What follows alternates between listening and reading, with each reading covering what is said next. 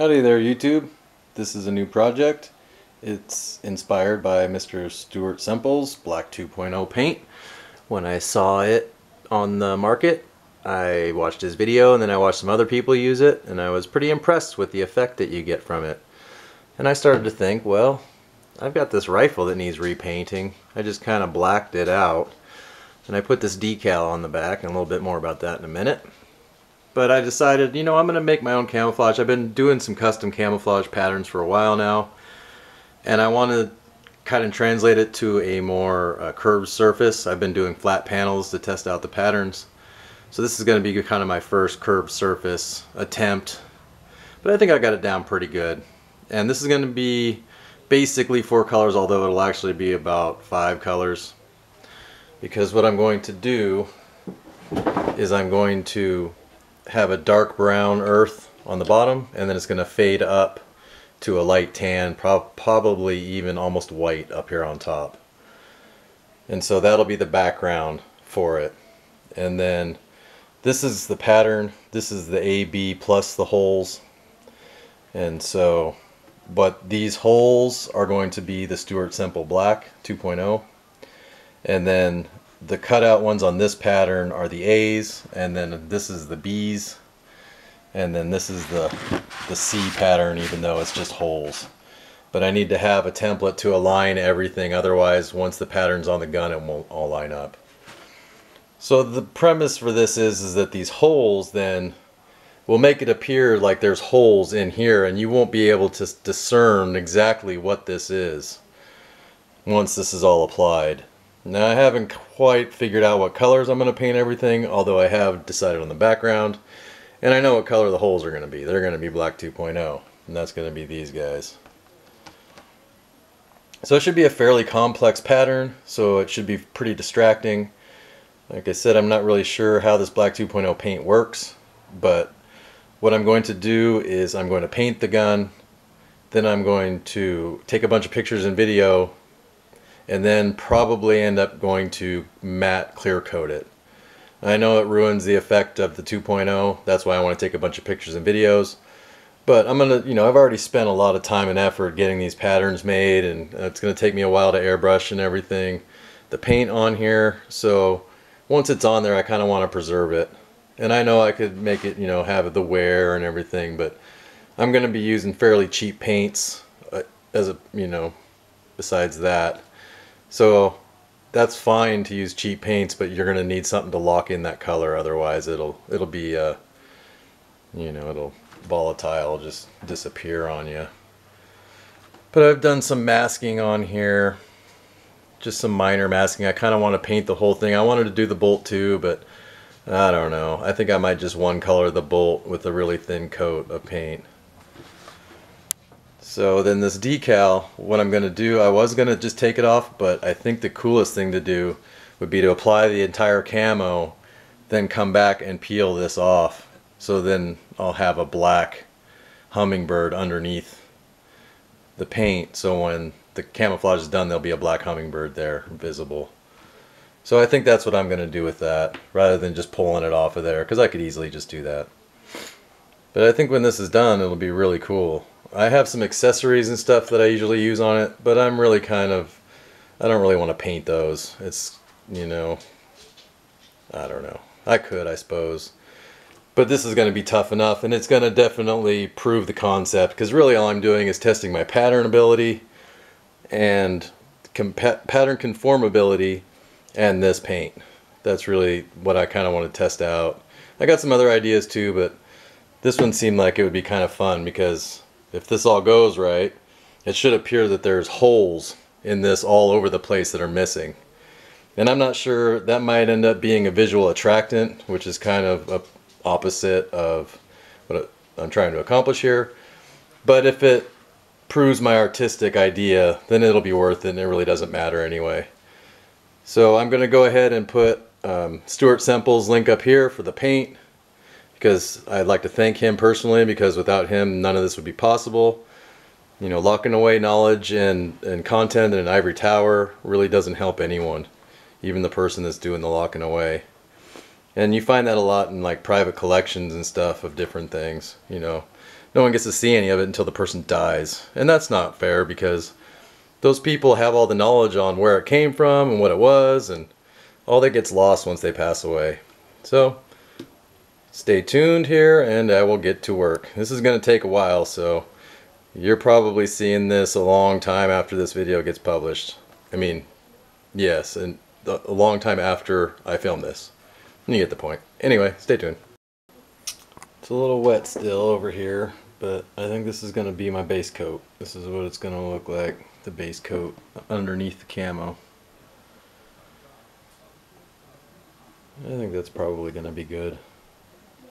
Now I uh, learned this, well, learned this from Ryan at Bloodshot Studios over at Bloodshot Airbrushing. I'll like a card up here, kind of name drop in this episode, but he's really helpful if you like uh, want to learn how to do airbrushing. He's definitely the man to learn from, and his lessons are free and they're really good. So I definitely suggest you check him out because I am not good. This is I would say probably my third attempt at anything. So, don't expect greatness from my airbrushing technique, but the stencils will turn out great. I guarantee it. Or I'll just keep doing it until it does. Alright, well, I think I've got this side pretty well done. Except for I'm going to go back with a paintbrush and fill this in. I was able to shoot the Black 2.0 through the airbrush. I had to thin it out quite a bit.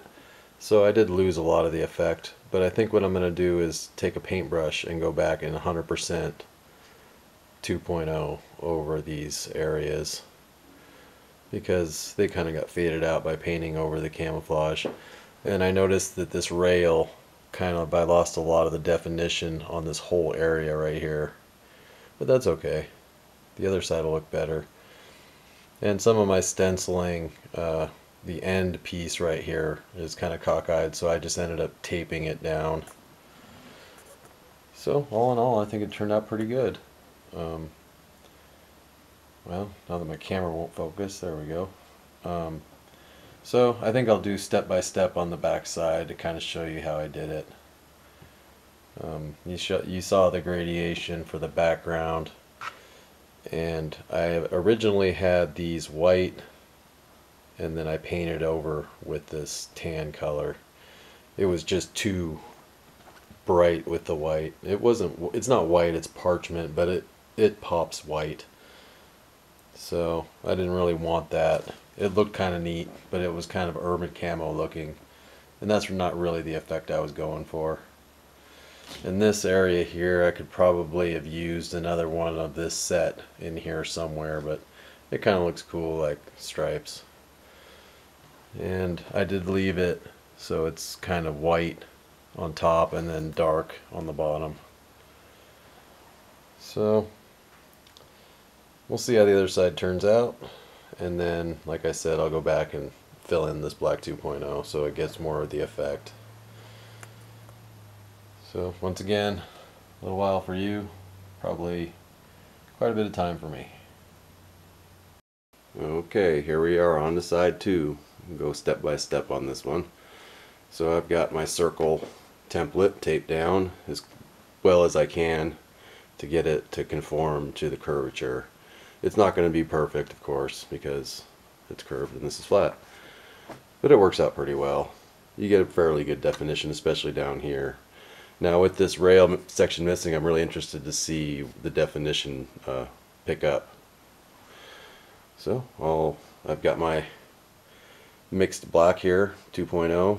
I got my airbrushes. I'm probably going to use this bigger one. This is a, a 0.5 I think, and this is a 0.3. So I use this for big stuff and this for little stuff. Neither one of them is very good. They're the kind of Chinese Iwata knockoffs, and they kind of suck. But for just laying down over templates, they're great. Fine. Well, not great, fine. So I'll put some black dots on here and we'll go to the next step. Now with dots. So here's it. Here it is with the stencil removed, dots applied. Um, it takes a little while for this black 2.0 to dry. I lay it on fairly thickly with the airbrush. I just keep making small circles and covering it, covering it, covering it until I can start to see these little puddles forming. And then once they're dry, you're ready to move on to the next step. Another quick note, it kind of looks neat as this, uh, I don't know, cheetah, jaguar looking pattern. So the different stages actually look really neat just by themselves. I mean, you could stop at any point here and have a really cool effect, but as you saw, I think the completed version, even though it's very busy to the eye, it is more effective camouflage than doing something like this. This is just kind of looks neat. And if you spaced out the dots properly, you know, it would look even neater. Okay, dots are dry and we're ready for our A, even though it's really B, seeing as the dots should be A. Anyway, so this is what I use on the other side. So for this side, all I'm going to do is flip it over. Lay it on here. Now, there's reference marks eh, are these little dashes that go through the circles. So when you line these up, these dashes should, and this one goes around the circle, so that's a good index to get it to where you want everything to line up. Because if you don't get these lined up, you'll end up messing it up because these are non-overlapping camouflage patterns, meaning that these spaces in here are filled by the next pattern. So it's really easy to line everything up because if you don't have any kind of alignment thing, I've done this a bunch of times, if you don't have any alignment between the patterns, the they don't line up and it'll end up looking really weird. I mean, if that's what you're trying to do, that's fine, but that's not what I'm trying to do. I want my other pattern to fill in these empty spots. So just a little word of advice there if you're making these patterns. And on a related note, I got some scratches here on the other side from when I had it laid down. And uh, that's not really going to be a problem here because of the way that I've designed this camouflage pattern to fill in all these spaces. There's very little of the background left. So all these little scratches that occur when you're messing around with it, they're not really of any consequence because they'll be covered up by multiple layers of other paint. So here we are with the parchment applied, and you can see it pops really well, but it's a little bright. I am getting some pretty decent wraparound though. I wasn't expecting to get any, but there is some. Not so much down here.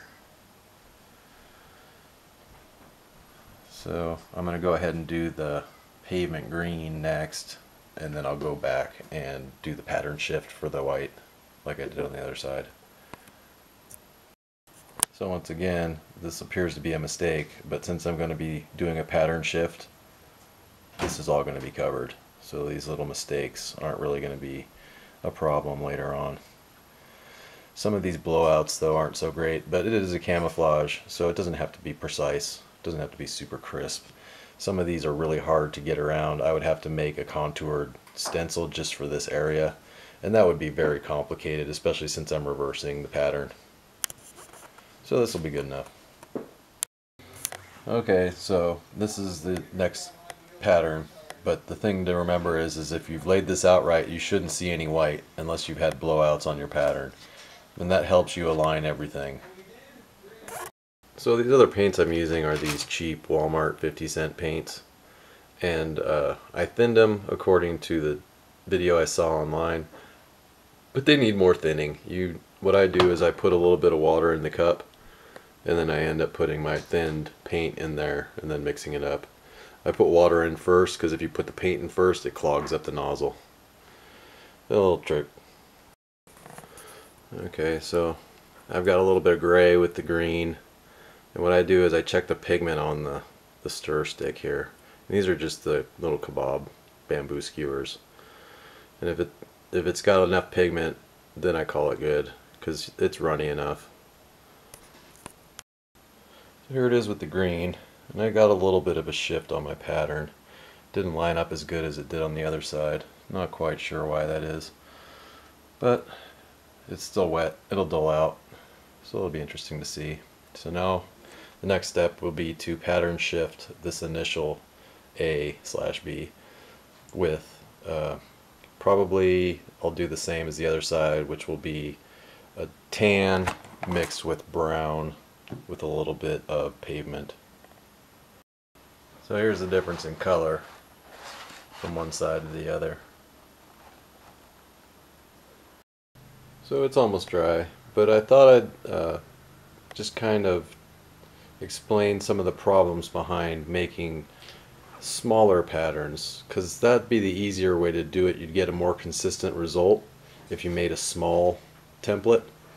But the problem with that is, is, is the second that the pattern repeats itself, your eye will grab right onto it.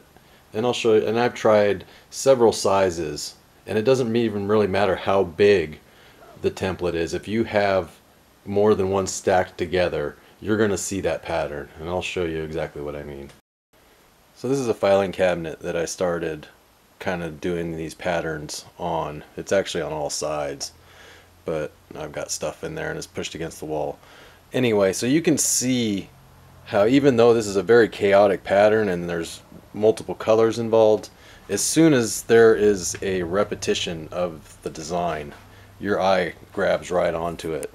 And it doesn't matter how big the pattern is, you're still going to see that. And then I've got another one here on this side. Step around junk here. Kind of a different take on it. But same thing. As soon as the pattern is repeated, your eye is immediately drawn to the repetition of the pattern. It's not as bad on this one, but it's still noticeable, especially at a distance. It's a good camo pattern, but it's just the repetition of the templates is a problem. And it doesn't matter how big or small you make them, you're still going to run into that. So that's why I made the other ones on the rifle one piece with just already cut in pattern. Okay, so I'm ready to lay my pattern shift here. And whichever way you're going to shift it, whether it be this way or this way, just make sure that it's a consistent shift on all of your thing because this thing moves around.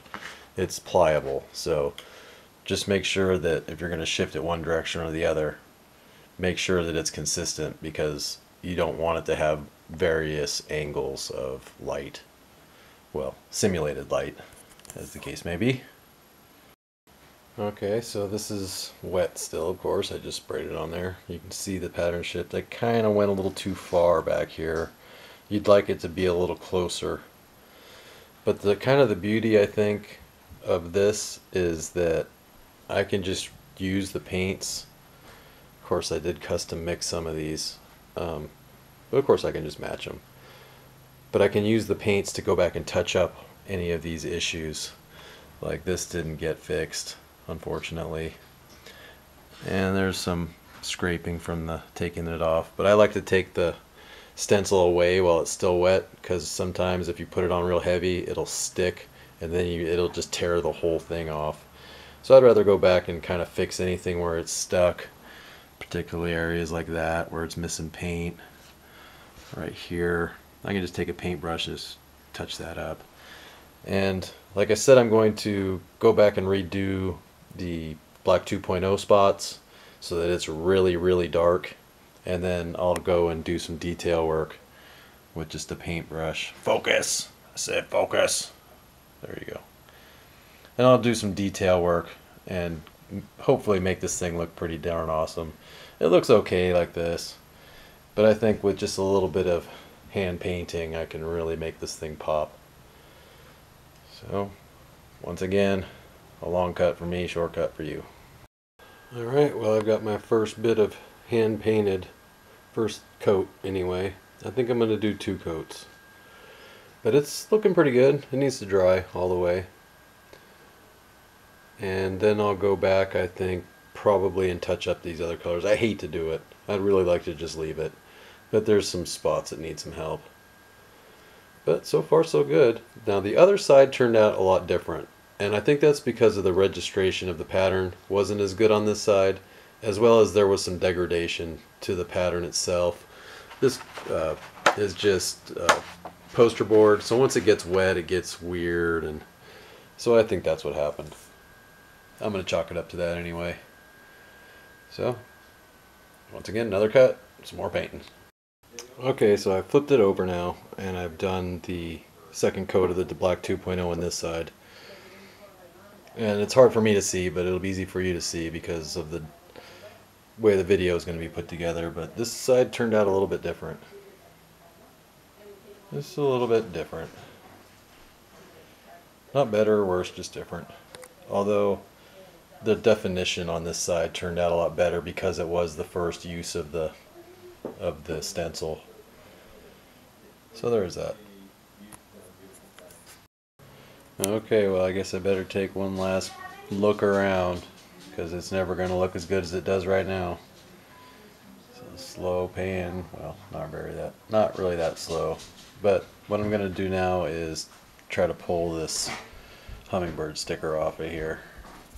So hopefully that goes well. No, it's not coming off. So I'm just going to leave it on there. So I'll probably just go ahead and um, pull off the masking and put the bolt in, take some pictures, and then I'll do some clear coating. Which will ruin it probably for the most part, but